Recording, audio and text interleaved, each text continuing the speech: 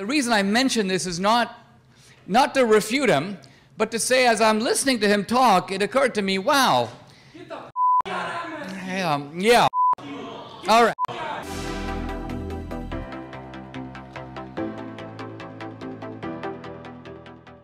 Y'all heard that right.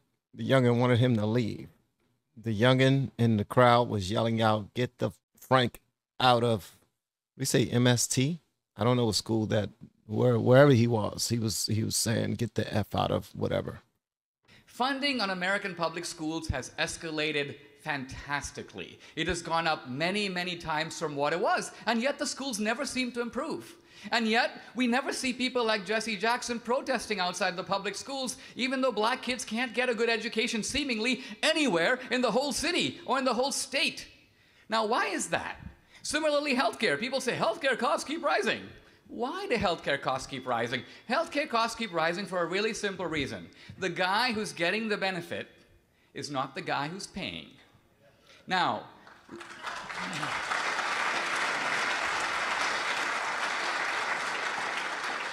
Wow. Sheesh. This brother didn't didn't smile. He didn't smirk. He didn't do anything to let you believe that lead you to believe that um he was joking. the guy that's doing all the paying is not receiving the benefits. The guy that's paying is the, the taxpayer.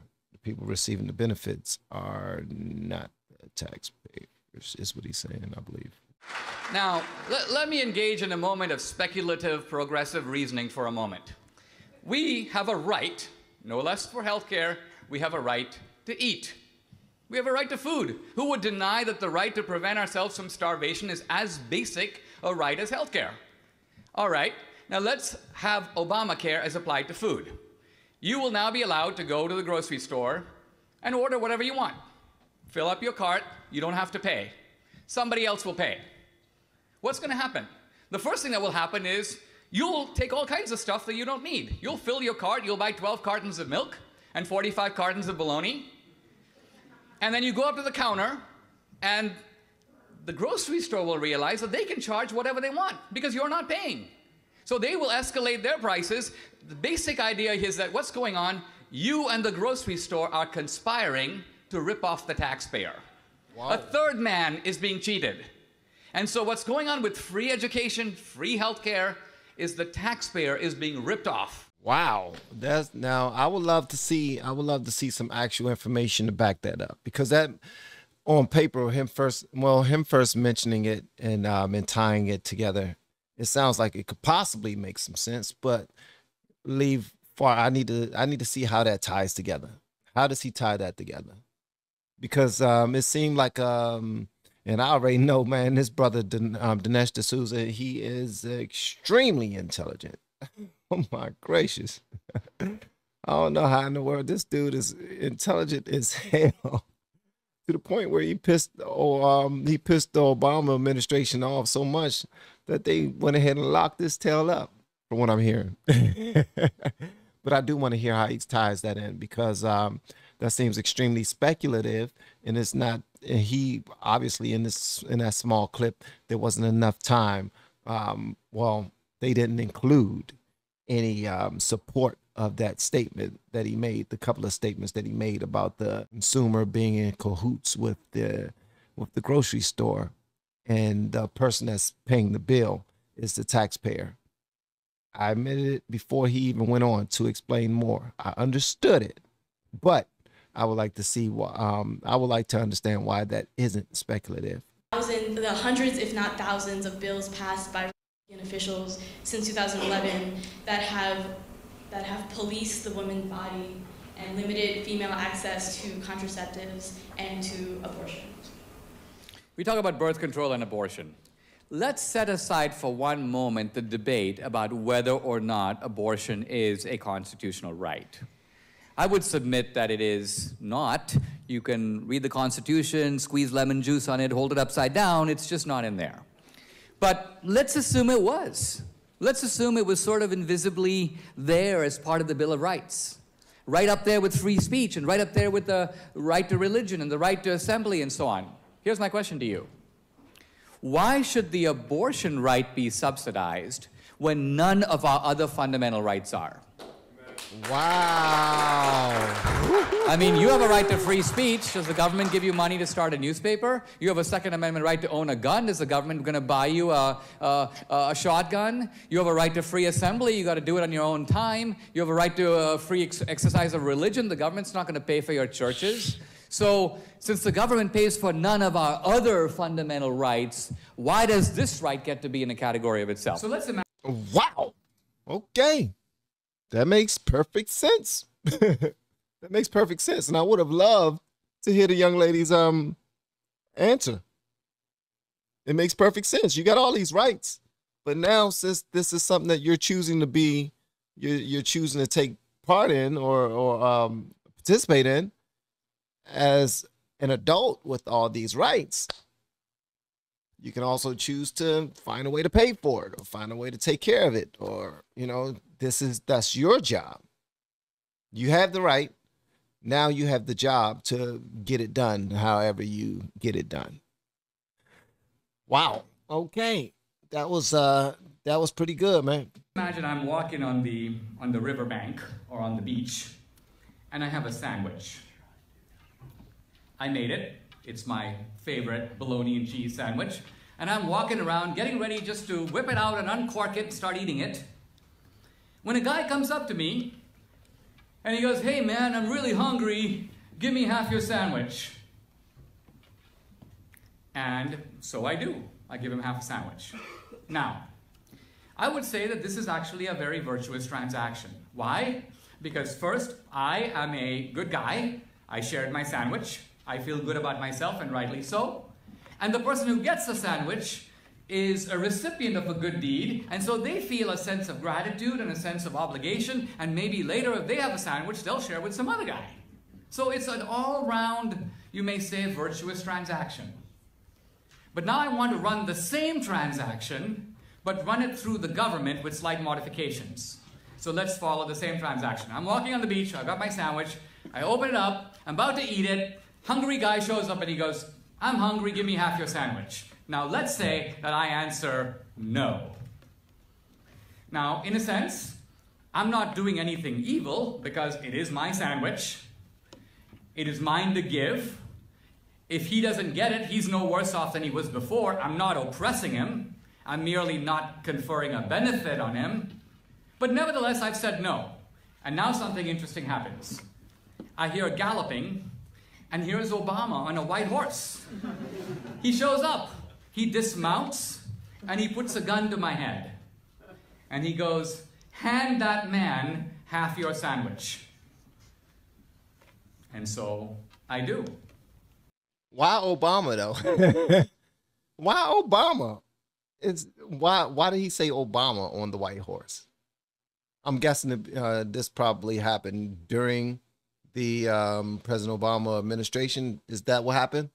So um, forcing someone to forcing a taxpayer again to do something with his money that he does not feel like he he feel like he has the right to decide not to do it or to do it and the person that that wants more rights these rights are not not anything that says um, the law has to do what you want them to do. But I'm going to change this and force those who um, who are trying to get around this to take care of you. Is he talking about Obamacare? Is he talking about education, free education? Okay, okay. I'll, I'll, let me just follow along. And so the outcome is the same as in my earlier example. The other guy ends up with half a sandwich. But now let's follow the actual transaction. First of all, I am a reluctant giver. I was not going to give him the sandwich. I'm forced. I have a gun to my head. It's, it's no virtue to me because I'd rather give up the sandwich than have my brains blown out. So I just chose the lesser evil. I deserve no credit. The guy who gets the sandwich, far from feeling appreciative, he feels entitled. Oh crap, only half a sandwich. Where's the other half, man? I'm really hungry. In other words, he's entitled. And so what I'm getting at is the same transaction that would be a beautiful and virtuous transaction if it were voluntary and in the private sector becomes a monstrous transaction In fact, if you look at this transaction of the, the horseman dismounting and putting a gun to my head, if someone tried that in the private sector, they would be considered an outlaw and sent to prison. No, don't shout at me. Uh, I'm defending fascism. No, I'm exposing you as a fascist. Because, oh. because. This dude brings the heat, don't he? The lady said, You're talking about fascists. He said, No, I'm not exposing fascists. I'm calling you, you, specifically you. you. You want smoke? Hey, I'm a chimney. Let's go. Do you realize? Uh, i will tell you how. You asked me a question. Hold on.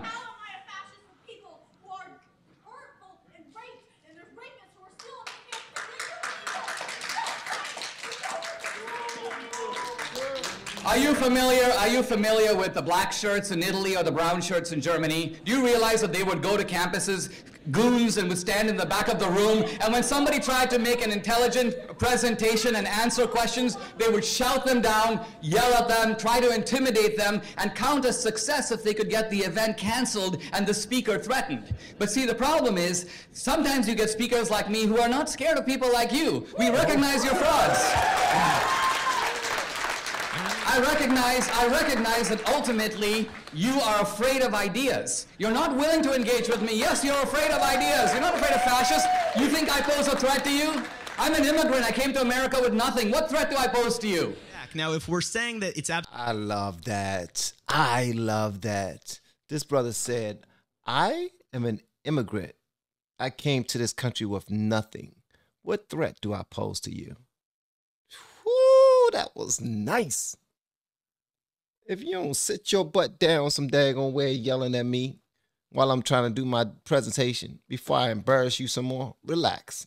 You you you I will say your parents did an excellent job at empowering you and letting you know that your voice um your voice is worthy of being heard and that you are you you are powerful and that you should have confidence and believe in yourself and and and not be afraid to do this. You just made a bad decision. You, the decision you made was to do all of that foolishness and um, um, for the wrong cause and in front of the wrong crowd to the wrong speaker now I got to set you down. You know what I mean? You're not to win every fight. It's okay, baby girl. It's okay. Absolutely impossible to give that money back because it's too hard to trace. We'd have to uh, give money to the African tribes. We'd have to give money to people who are no longer exist. That's absolutely fine, but we have to understand that we haven't really come to terms with that injustice that's been perpetrated.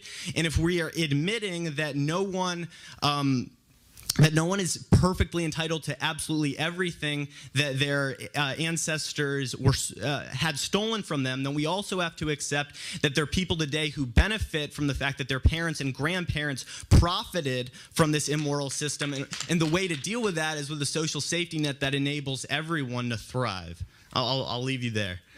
Now, the first thing I'm trying to say is this is a hugely controversial principle because it actually involves wrecking the freedom of a free society. You basically have to, to put it frankly, if we were to carry that out, go into people's homes and take their stuff, take their furniture, take their cars.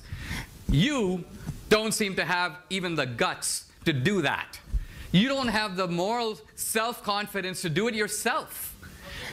It may be, if I am advocating a rule of social justice and I'm advocating it for the whole society, before I persuade everybody else, let's say I'm a, I'm a, I'm a Christian and I believe everybody should give 10% of their wealth to help the poor. And I go, you know what? There, the Bible says this, the Bible says that everybody should give 10% of their wealth to help the poor. And somebody says, Dinesh, are you giving 10% of your wealth? And I'm like, actually, no, but I did do some tutoring. And you go, wait a minute, aren't you advocating Aren't you saying that there is a moral duty to do this? Why don't you do it? I'm saying that the Southern. Yep. And that's because, and I said this in one of my other videos, that's because people believe that the government is not a function of um, society that they should participate in um, directly. They should they should deal with them indirectly. We vote them in, they handle everything. We complain, you go take care of it. We complain, you go take care of it. We need something, you go get it. We want something, you go get it. Uh, who's going to pay for it? That's not our problem. I can care less who pay for it. I just know that it's your job to govern this country, this nation.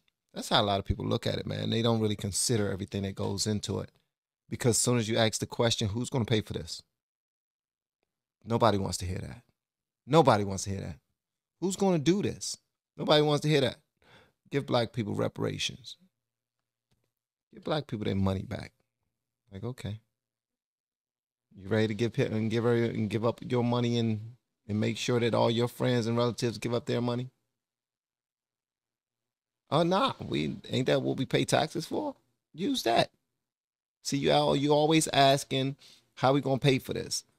The government gonna take care of it. Now give them their money. and and and and the conversations just get more and more and more ridiculous. Shout out to the young man; he sounds very um, professional. I I, I like um, the fact that he he presented himself so well, but no, young man. Saying that there is a moral duty to do this, why don't you do it? I'm saying that the Southern economy was essentially a non capitalist economy. Its champions knew that. The defenders of slavery all attacked capitalism. But they it hated was, it was in the it was in the pursuit of profit, which has continued on since then through the Jim Crow law errors, since the establishment of private prisons, um, and it's you know it's happening to this day. It's it's Look, it hasn't changed. It's, look. it's, it's been capitalism since this country has been founded, and that capitalism is rooted in the slavery of this country. The dictator, look, the dictator of Venezuela, Maduro, right? When he died, he was a billionaire. So he was obviously in pursuit of profit. He was a socialist who was looting the country for himself. Was he a capitalist because he cared about profit? No, because capitalism is not just about caring about profit. Capitalism is about a certain way of going about business that actually mutually enriches all the parties involved. Otherwise, they don't do the transaction. If I go to apply for a job at a company, and let's just say they offer to pay me $1 an hour, right?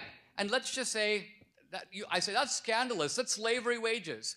If I don't take the job, I'm no worse off than I was before. They haven't exploited me in any way. They're offering me a deal, I'm free to take it or not. It's completely different if they go grab me, put a chain around my neck, and make me work. That's the opposite of capitalism. That's why, read Lincoln. Lincoln says slavery is you work, I eat. And the alternative for him is the hand that makes the corn gets to put the corn in its own mouth. For Lincoln, that's capitalism. The Scandinavian Nice breakdown, sir. Nice breakdown. model is really simple everyone benefits, and everyone has to pay. In other words, this is not a soak the rich scheme.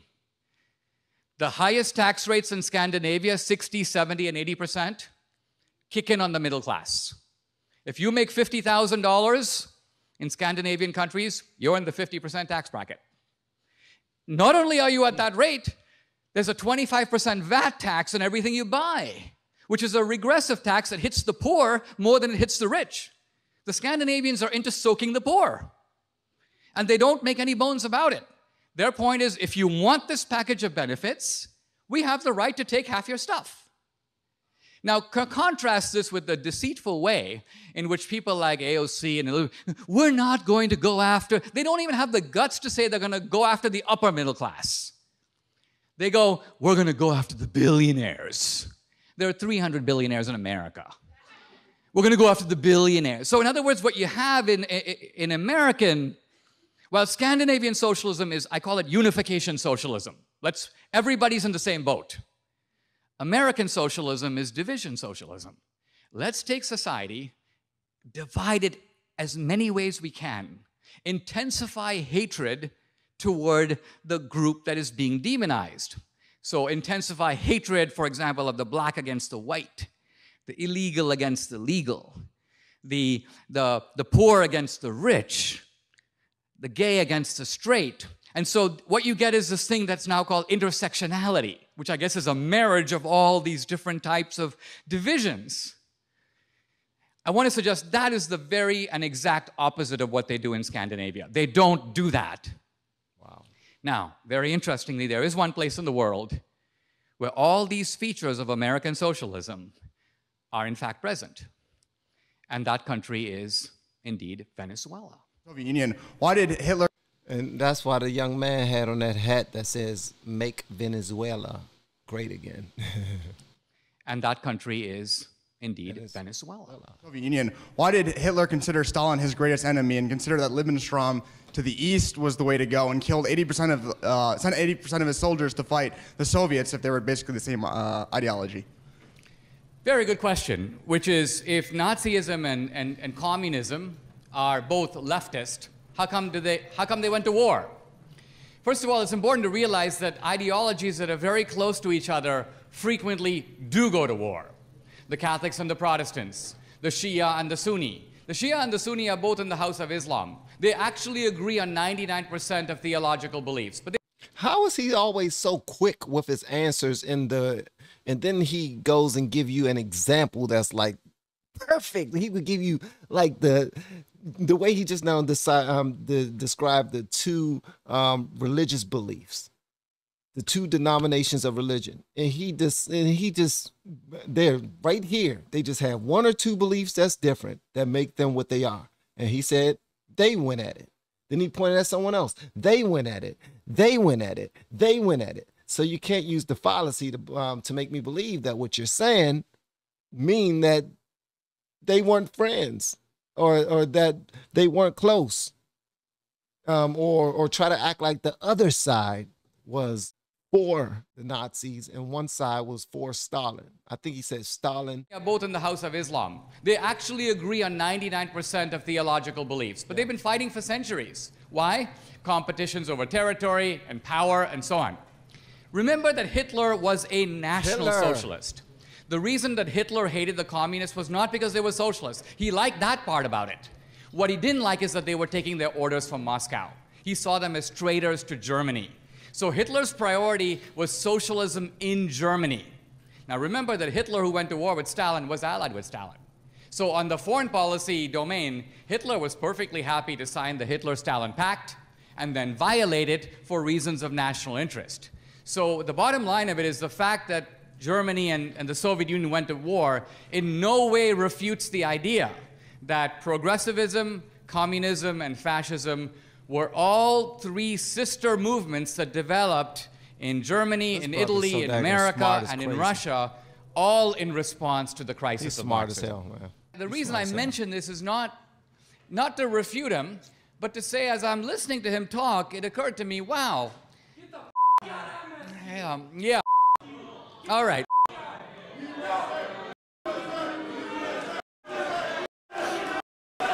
See, this is the acceptable bigotry of the left. This is the acceptable bigotry of the left in which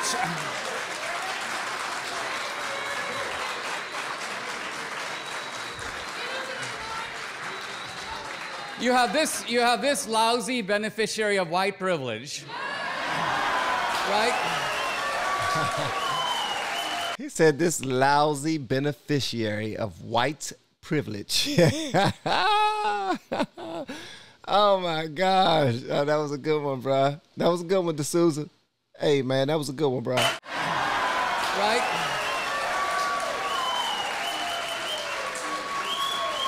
Now,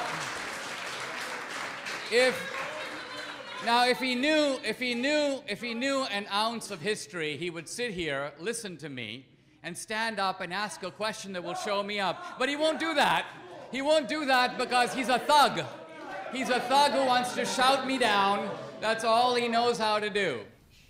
Open debate is not racist. Open debate is very healthy in an academic community. Racial denigration is racist. So I ask you in fairness, I've been up here now speaking. Uh, if you believe the posters and the dissenters and the comments and the Stanford paper and so on, I, you might have expected me to stand up and give you 45 minutes of racial invective. So a very good way to test these things is to ask you, have you heard me say anything tonight that you would consider racist? And if not, why would you even raise that term in my connection? Um, so I will concede to you. Um, I did not hear anything explicitly racist, and I, I do have to say I appreciate that. Thank you. The bottom line of it is you don't get to jump. Why did why did she call him racist then?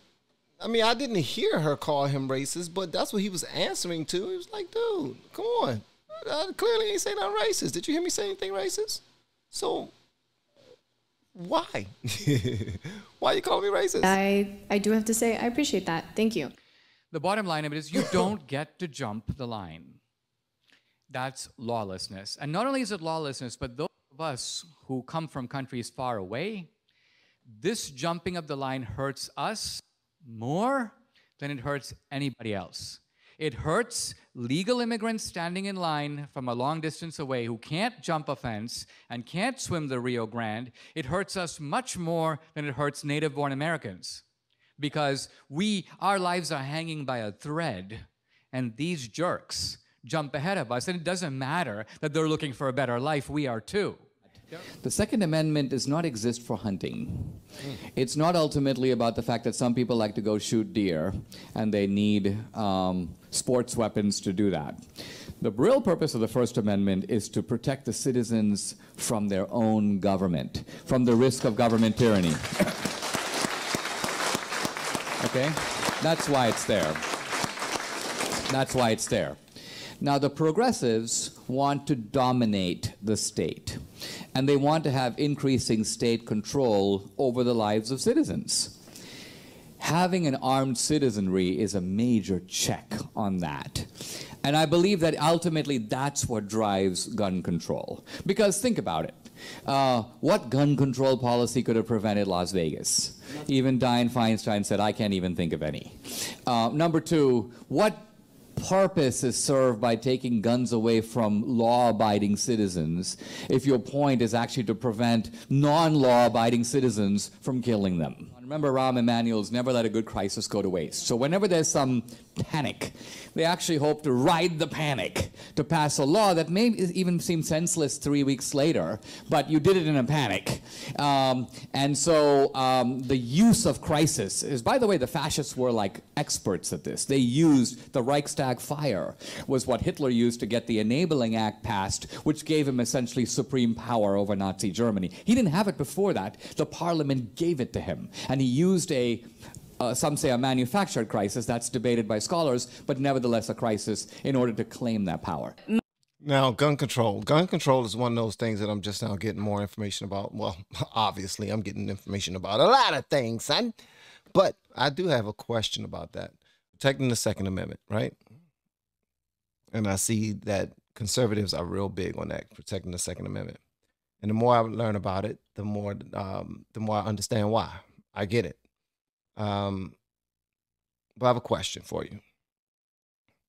When someone goes to the store and they purchase one gun, two gun, three guns, um, they put they purchase um, military helmets, military vests, military this, military that.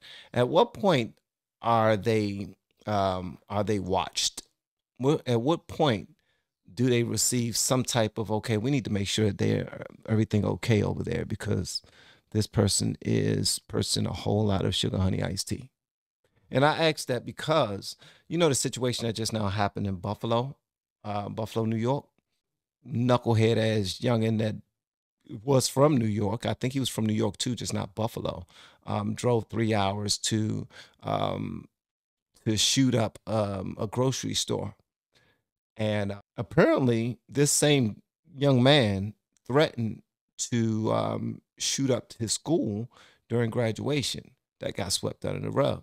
Then he wrote a manifesto, um, a long paper talking about why he believed what he believed and what he was planning on doing. And that was online for a while. Um, now, also considering that he's 18 years old and he purchased all these things himself. Um, this was nobody else's weapons that he purchased. So at what point does a red flag is um, get raised to prevent certain things like that? Now, I know y'all saying there's no way to prevent that. That was going to happen. He's he was raised wrong. He was evil. He was all these things, and y'all will be correct on all of it. He was raised wrong. He was evil, and anything else you can think of. Absolutely.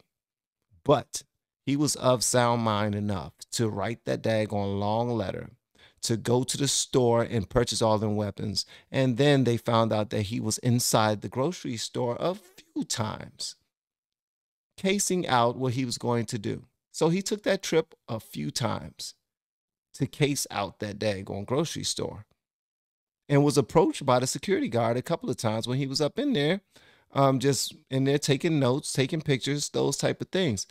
At what point is um, law-abiding citizens who are following certain patterns um, watched just in case some sugar honey iced tea pops off?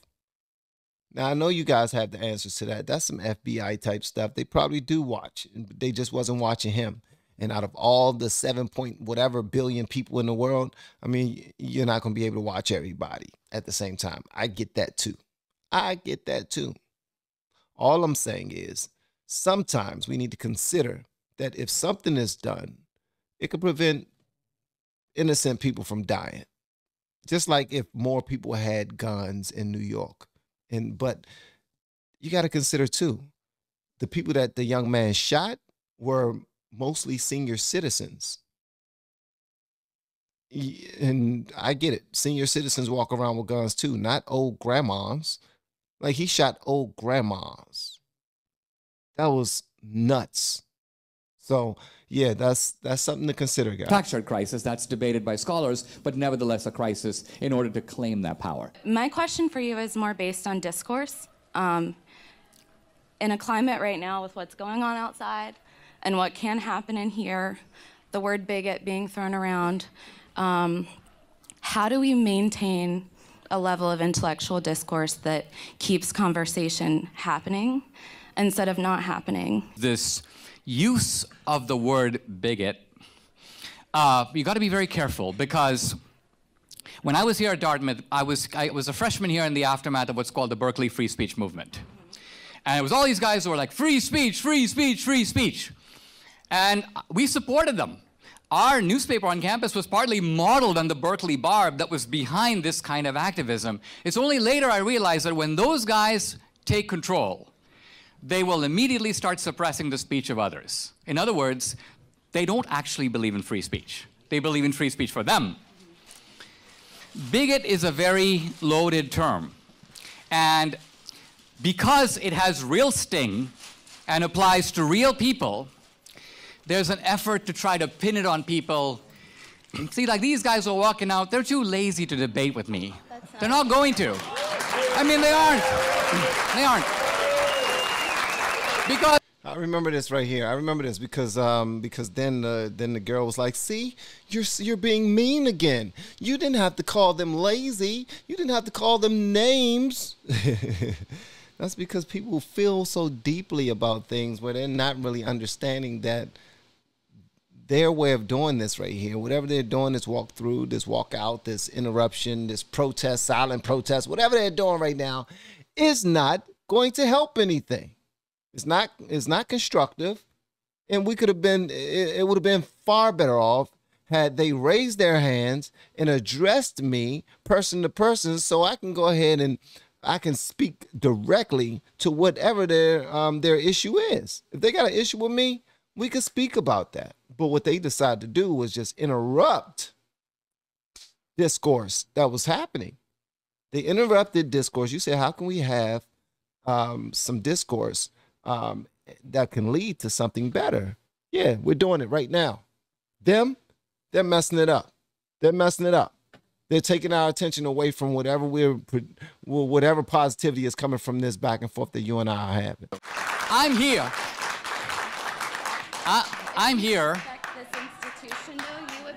I mean, think about that. Like, if you respect the institution and the standards that this institution upholds, for you to say that they're lazy is kind of see.